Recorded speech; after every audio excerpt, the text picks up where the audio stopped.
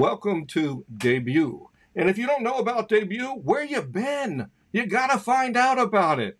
It's where we take three amazing storytellers who are accomplished tellers and they tell a story brand new for you because it's debut for you.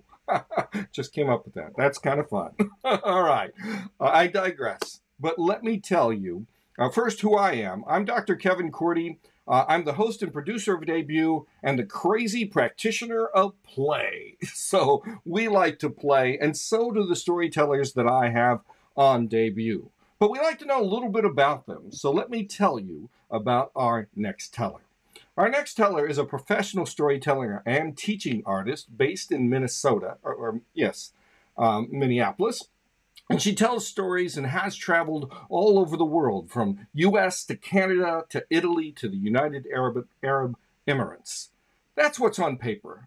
Let me tell you what I know about this teller. This teller is a commanding teller, is reflective about the process, is always teaching others. In fact, is has a leadership position in the National Storytelling Network right now. But the one thing that I will say is she's a deep listener of her own work and other people. And because of that, I have seen other people develop under her. Uh, this next teller really knows that storytelling is about storytelling and story making, and most of all, story community. So let me welcome her to the debut family. Ladies and gentlemen, it is a great pleasure to bring in Katie Knutson. Hey, Katie! Hi, Kevin. It's so great to see you. You as well. I'm going to start with a question that I, I kind of always ask in some way. How did story find you, or you find story? That's a two part answer because I took I was in high school forensics and so I actually, as a freshman in high school, found this category called storytelling. And it, uh, I, I'm always up for a good challenge. And most of them required you to, you know, like prose, you had to pick one piece of prose and you would just recite that every meet. Storytelling, you had to learn five different stories and uh, be ready to give any one of them at any point whenever the judge selected that one. So it sounded like a fun challenge. I also liked that you weren't supposed to memorize your stories. You were supposed to have them a little bit more improv based, which is true to actual storytelling. Uh, but I always thought that was just a, a, you know high school forensics category. I didn't realize it was a career option until I was until I graduated college with a theater degree. I was working for a children's theater company in, uh, based in, here in the Twin Cities, and I uh, was traveling with that theater company to a school in North Dakota and they just happened to have a storyteller there at the same time that we were there. I met her, I grilled her like, "Wait, you do what? That's what I want to do. That's that's my dream job." I didn't even I hadn't even heard her tell a story, but I already knew what what it was and I knew that I wanted to do it.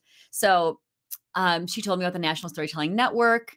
Um, she might have also told me about Northlands or what was then um, North Star Storytelling League, now Story Arts of Minnesota and uh, but I I started searching you know storytelling online and I found my first uh, I found the NSN website and I went to my very first conference uh, within a few months of that. It was uh, the tw- 2004 uh, conference in Bellingham, Washington.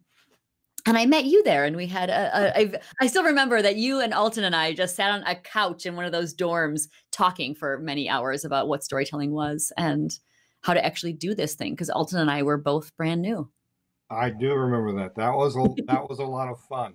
Uh, yeah. in, in Bellingham, and mm-hmm. one of our debut tellers is from Bellingham. Uh, oh wow! Um, so we'll have much to share. But from the forensics coach, I am a former forensics coach or previous forensics coach, and I will tell you just a little tidbit.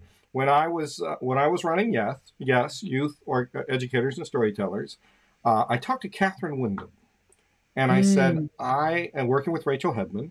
I said, uh, we would like forensics to be storytelling to be a category in all the states because it wasn't in Ohio. Mm-hmm. Um, and I, Kathryn said, well, in Kathryn's way, let me talk, you know. And I mm-hmm. found out that Kathryn's neighbor was the head of the National Forensics League. Whoa. so we were this close to having it to that category. But and and, and it didn't happen. It didn't, but it doesn't mean it's not going to happen because okay. I've seen storytelling more uh, represented, um, mm-hmm. both um, at the National Forensics League, at 4-H, um, mm. at the Educational Theater Alliance, which I know that you presented at. Um, mm-hmm. So it's great to see the sparks that storytelling had, and and like I said at the beginning, storytelling community. It was so great to to just sit and talk story, which is kind of what we're mm-hmm. doing. So since that day in Bellingham or that day at uh, Forensics, how has story changed for you? Well, oh boy, since forensics, well, I learned that you don't have to actually have your butt in a chair to be a storyteller. That was one of the weird rules of Wisconsin. Um, having moved to Minnesota, I learned that the rules for storytelling are completely different in Minnesota than they were in Wisconsin. Uh, but that was one of our big rules. Um, I've learned more about you know copyright issues and the ethics of storytelling uh, in high school, it was very much okay, read a book, find this one story, modify it a little bit to make it your own, you know, make it more fun or do something more creative. But we weren't, uh, because we were high school students who were competing in high school competitions, we weren't bound by copyright. And so we could, you know, perform somebody's children's book without there being any repercussions. That is not okay as a professional storyteller. So there are certain things that I did in high school that I would never do now.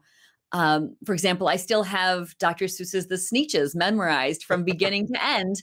There is no way I will ever perform that um, publicly uh, for money because that would be unethical, right? Um, even though I love that story and um, you know and, and can recite it at the drop of a hat there are other things like that where I've I've learned a lot about the craft of storytelling. You know, finding multiple versions of a story and not just going with the first one that you've found.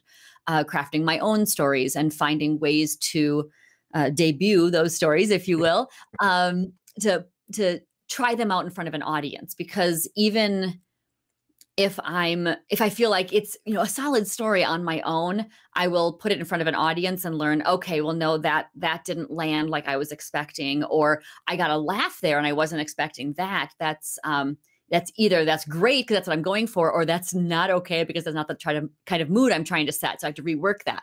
So it's um i learned a lot more about working in front of others too and working with other storytellers in my community.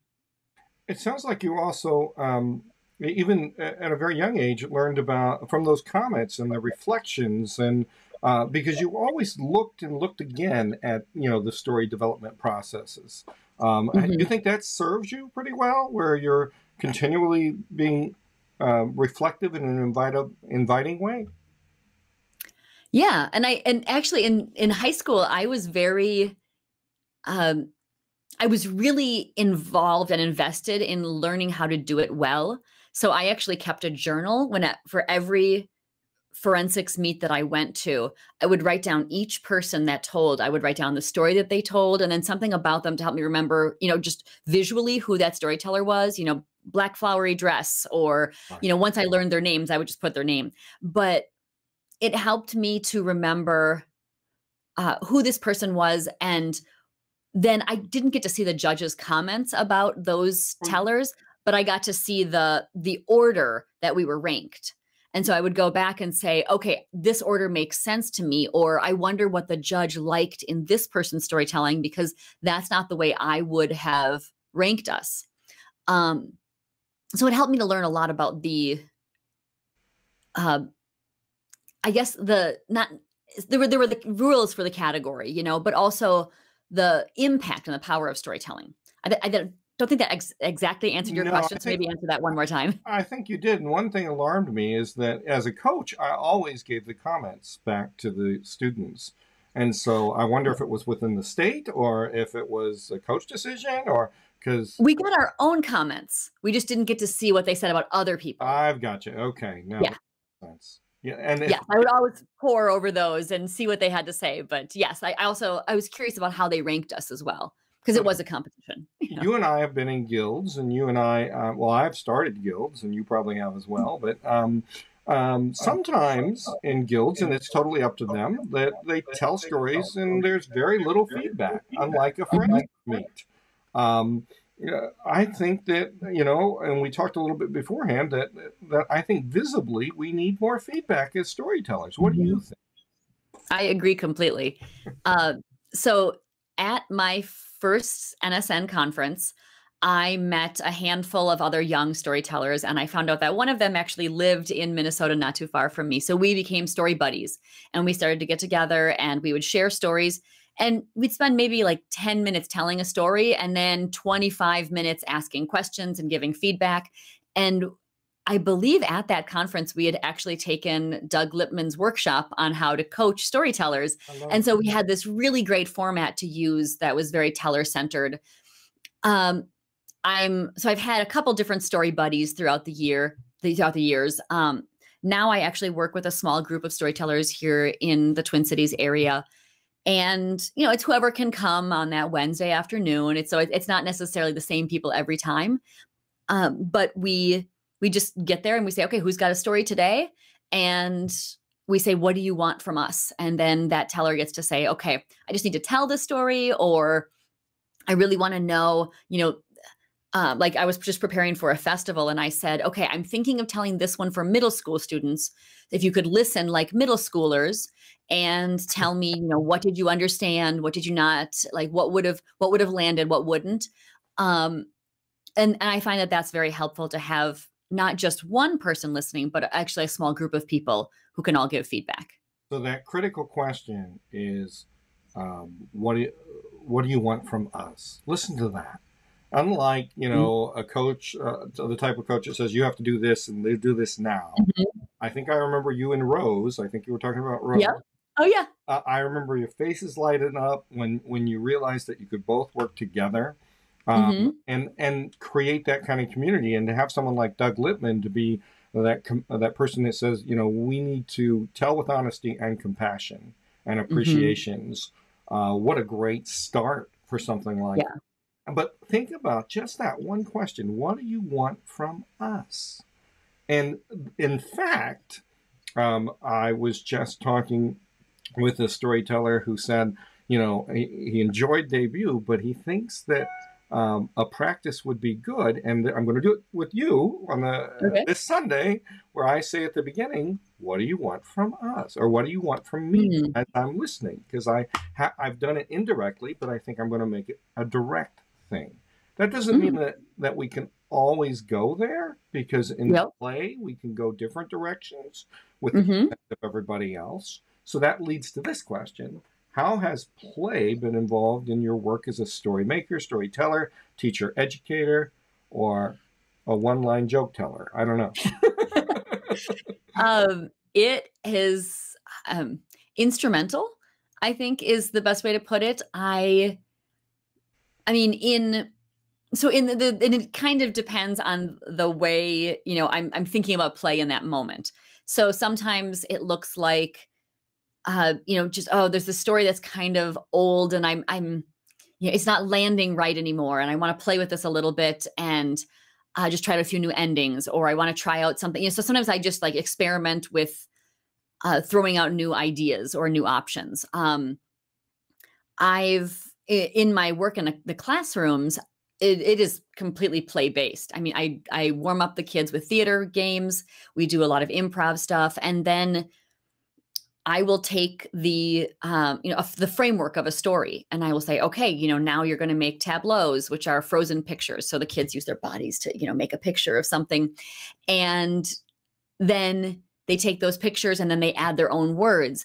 And I say, you know, okay, so the tree doesn't actually speak in this uh, you know in this story. The tree is there to show the setting, but tree what would you say and um, so we you know we give voice to all of the things that are the the typical things you would think of like the characters in the story but i tell the kids that even if you've run out of characters every person in your group needs to be in every tableau. So there has you know they might be adding things like a, a, a tuffet uh, when we do little you know little, little miss muffet. They might be adding um, the cupboard. They might be adding the sun. They might you know so there could be any number of things and then those things eventually have to speak and we talk about how can you add to the story as this thing without taking you know without taking away so i think that there's a um, a sense of play that i have especially when i'm working with kids um, and and and I do also a lot of like creative theater stuff with kids. So it's very much based on like,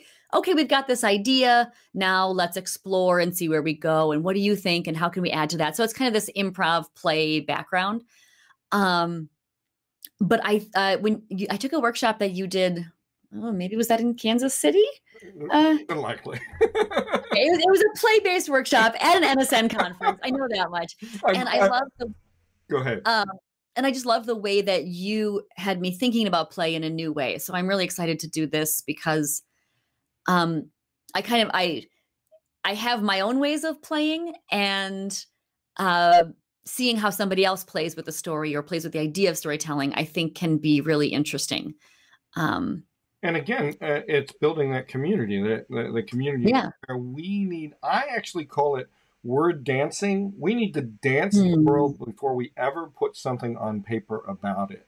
Um, I was actually just talking to a student, and, and they said, Well, you know, how do we make sure that we're not just teaching standards or whatever? And I said, You know, and, and then we put them to desks by themselves. I think we need to dance in the world. We need to do those tableaus. Mm-hmm. We need to be in the fiction that we're talking about. And just because you grow taller doesn't mean that play's not necessary, right? Yeah. I mean, I was listening to the Emmys yesterday, and they they credited Mick Napier, who worked with the Annoyance Theater and, and Saturday Night mm. Live contenders. There was a bunch of improv people on the Emmys yesterday. My wife pointed her out because he she's an improv comedian. Oh, okay. I think we need to give ourselves permission to take risks and word dance. Mm-hmm because if we sit you down, and I'm going to ask you about your methods in a minute here, if we sit at an isolated desk, how are we supposed to be creative when we haven't thought about the world? We can handcuff ourselves to print. What do you think? How, when you Absolutely. come up with a story, do you go straight to print? Do you, uh, what do you do? No, I very rarely write my stories down, which I, Part of me regrets because then I, you know, I spend all this time crafting it, and if I don't capture that, then I, uh, when I go back to tell it, you know, a year or two later, I have to do all of that work again to get it to, you know, the place where I can tell it again.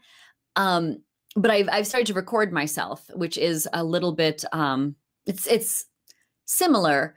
Um, I honestly nine times out of ten find the process of actually writing a story out to be laborious and um usually not very effective because what I, for some reason, when I'm at a computer and I just start typing, I start elaborating and adding things. And when i've when I'm done typing it out, I've got these details in the story that are completely unnecessary, and they are not um, they're not going to serve me in an oral telling. So I think that working through it orally is the key for me when I'm working on any story. And that doesn't mean that I don't do any words. You know, I'll put um oh, actually, let me see if I have something right here. Um eh, not like I was hoping. Um I did, you know, I, I like I was trying to figure out the order uh, in which to tell a story. And so I put all the different details on note cards and I wrote things out. Uh, and they were just a word or two so that I could organize, you know, this little section of the story and this little section of the story. And I took those note cards and I put them in the order that I thought. And then I tried telling it to others, and I was like, okay, well, that order didn't work. And then I just mixed them up and played. And I was like, this wasn't necessary, that wasn't necessary, you know, so I can take those note cards and use them as a way to um, figure out what's important in my story. But having that visual representation is really helpful. So those could be you know, words, they can be images. Um, I know Elizabeth Ellis is a big fan of putting things like if you're going to talk about a key, you just draw a picture of a key. Um, and so it, it kind of depends on my mood whether I draw or whether I write. But doing that or doing like a general outline, doing a story mountain, any of those kinds of things that are visual and um, you know tactile, those really help me. Katie, you mentioned note cards and order. I have to tell mm-hmm. you, one of my favorite ever storytelling shows was Tom Bodett, who leaves the light on. Uh-huh. Uh-huh. He walked on stage, he had a stack of note cards, and he threw them up in the air. And he said, Tell me where to go, and I'll begin the story where the cards are. And the wow. program was called Exploded. And for the first six cards, we had no idea what he was saying. But it, it turned out of a story of him being electrocuted twice. Oh my gosh. And by the time you were done with all the cards, you not only understood the story, but you felt the jolts, so to speak. It wow. was absolutely amazing. There was a guy named William Ackerman who actually said some things against Jane, Jonesborough, like, you know, everything doesn't have to happen in tents, which, you know, back then it was a little like, oh, you know. um, and he had the the Tribe of Seven, which Spalding Gray was in, uh, uh, mm. Tom Bodett, and I can't remember all the others. And they created a CD, and they went on tour. And I will never forget Tom Bodett doing Exploded. So it makes me think about it. And it also makes me think that narratives aren't always linear, and the way that mm-hmm. we get to them, you know, because um, in school the first thing they ask for is plot, and as Donald Davis says, and Kendall Haven, we're plot obsessed, and nobody uh, nobody earned a kingdom on plot. you know, Lisa Cron says everything has plot. It's a matter mm-hmm. of character, and I say trouble that needs to move forward. Mm. So, um, do you find that you work with uh, when you're working with story, you're working this next, that next, that next, or you are all over the page, or what? Hmm. I it kind of depends on the story. I do like to plot things out on a story mountain to give myself a sense of, you know, where where the story is going with some stories. I mean, it it really depends. If I'm writing my own personal story, doing something like the note cards or a story mountain or something can help me figure out what to leave in and what to take out.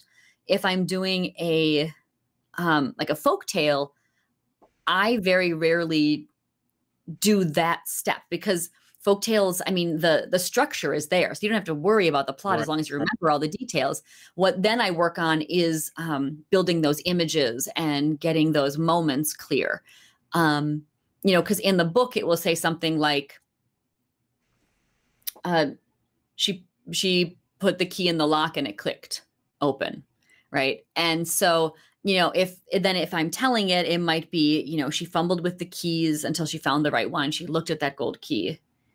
It was strictly forbidden to use it.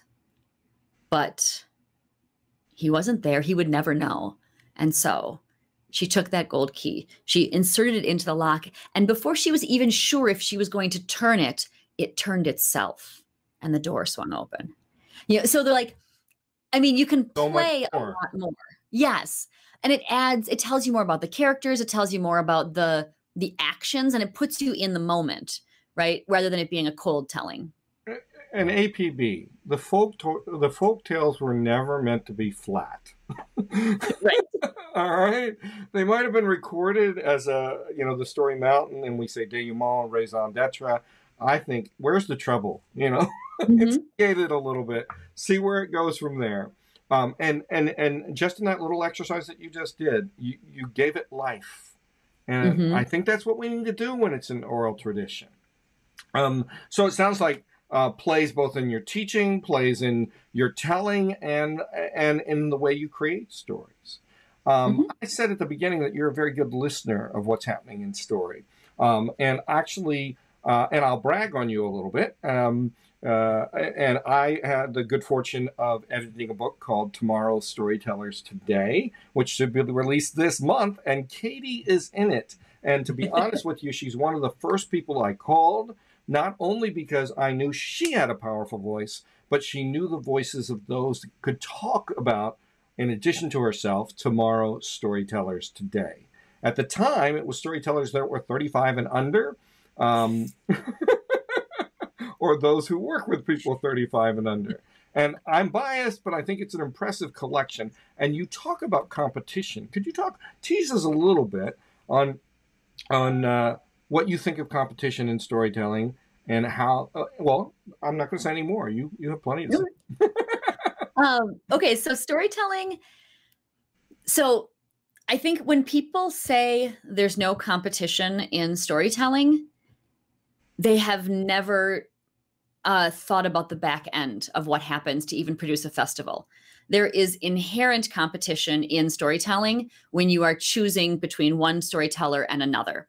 And whether that is an application process, whether that is something where you submit a story, whether that is, uh, you know, just word of mouth and an interview or whatever it is that gets somebody there, anytime a storyteller is on stage, chances are other storytellers were not chosen to be in that spot.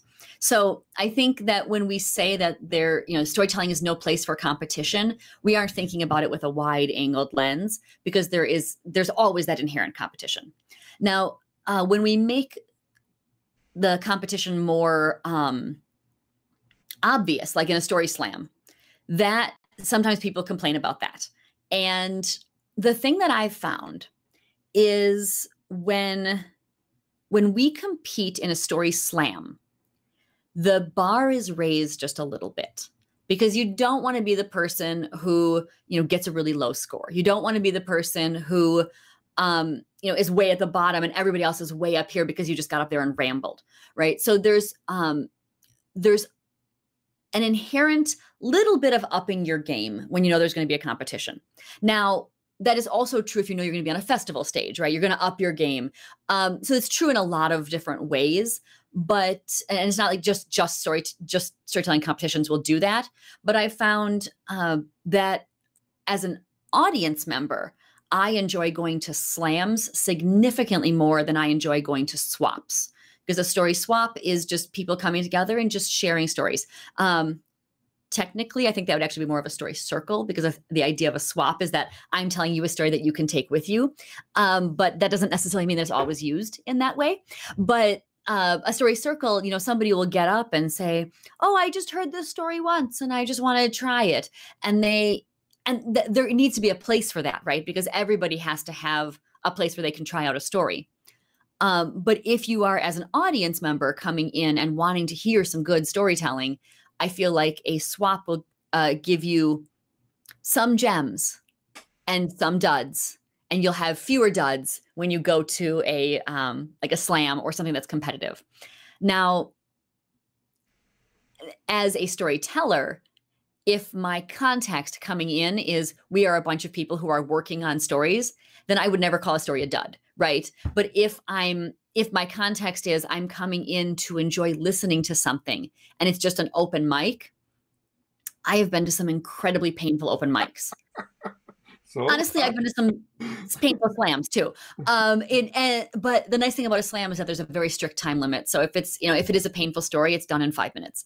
Um, the I've been to some story circles or some open mics where people um, have have said some things that were so intense and revolting without any kind of a content warning that I felt like I was sinking down in my chair and I just wanted to disappear. Like I want I I was plugging my ears by the end and closing my eyes because it was so traumatic that I could not listen to it anymore. Um, and that was one person in particular, and I won't mention names, but I think that I, we. I was sorry. No, I'm kidding. Mean, Kevin, if we're going to put it out there, then okay. but I, I think that having those, um, like just having your a, a good context and knowing what you're getting into is very helpful, and having content warnings is super important. And you know, that's the other thing is that we just need to we need to make room, and I know you advocate this as much. That that story, there's a lot of room under a tent in a bar, uh, you know, under an umbrella on a tightrope, you know, whatever. um, there's not enough storytelling going on, so we don't need to close any doors. We can ask when when asked when someone says, "Hey, what do you like about this?" and they really mean it we can say, oh, I would change this if it was me, or I could work here. But our job is not to oversee or overrule. Mm-hmm. Um, and but not to ignore that there is competition. I remember one of my you mentioned poor, you know, story slams or whatever. Uh, one of the first people to hire me um, had me tell at a coffee house for like four hours straight with no breaks and like I was just in storytelling. I, what? I, I, exactly, and I didn't know to say no. so I'm like telling whatever story I'd heard and worked on for two weeks, and you know, and I, I was literally about two months out. And so they finally came up after the second hour and said, "I think we should take breaks in between the stories." but that's the other thing. We're all coming from a different place. Mm-hmm. And that's sometimes because we make invisible the practice. I remember Donald Davis wrote in Storytelling World uh, his journey of a year, and I was mm-hmm. tired after reading it, let alone living it. All right. um, we need to make make make our work visible for storytellers, and that's one of the reasons mm-hmm. for play. Um, so, why debut, Katie? Uh, well, because I really enjoyed your workshop, and um, I also I have I've been trying to think of you know what kind of story I want to tell, and I think the thing that I would most benefit from uh, with play would be playing with a with a um a tall tale. Um, I'm going to. I mean, like because I we I was just at this festival and we were talking about a liars contest, and I thought, you know, I don't really have anything for a liars contest. You know, I want to have something that's kind of in my back pocket that I am I can pull out. Uh, I've got one story, but I think it needs a fair amount of work, and I and this is supposed to be a new thing. So I'm going to I'm working on a new story that we can, um, you know, just uh, bring from that place where you're like, oh yeah, this is this totally happened. This is a real thing to the place of unbelievable, and to have that um, just to, to, play with that fun in there. So that's my plan. I may show up on Sunday with a completely different story, but and there, there are more demands right for liars contest, and I'm seeing more and more liars contests springing up. So that would be great. Nice. And I, you know, you're always fun to play with in story. So this this will be great, and, and, and I'll enjoy it. So you just came back from Forest in the Hills. Is that am I saying that right? Or hunting, hunting in the hills. Hunting in the hills. And yep. um, before you were referring to working on stuff that's new, or at least within the, the group that you work with. What is something that happened at Hunting in the Hills, either you're telling or you're listening to tellers, that surprised you in a good way that made you say, wow, I'll keep that, or I'll explore mm-hmm. that, or that was rich play, or, you know, if you have nothing, that's okay. Mm. You know, uh, so when I was up telling a story, I had um, you know, done a like a run through, I think earlier that morning to just check my timing. And it was six minutes over. And I was like, okay, that's not good. So I'm, you know, I'm thinking about what and I always I when I'm practicing by myself, my stories are always slower. Like they it just it I don't have an audience to feed oh, me yeah. their energy. And so I knew that it would it would shorten itself naturally. But as I was up there um telling the story um which is called Fitcher's Bird. It's a variation uh, like Bluebeard, Mr. Fox, the Murder House is another name for this story. And I love um, they're all like slightly different uh, variations, but they're they're on a theme. yeah, there's like there's a man who's a serial killer, and there is a girl who or a young woman who gets away in some way, right? Um, and then and, and puts an end to him in some fashion. um, so in this particular story there are three sisters and i mentioned you know the first sister and i went through all of what she was doing every every moment of her you know going to the house and um, the task she was given and how she failed it and then um, her death. And then the second sister it was just it was a summary right? It was like the same thing happened and i just walked through some of the the, the moments. And then the third sister um I gave a little bit of flavor to why she was different than her sisters.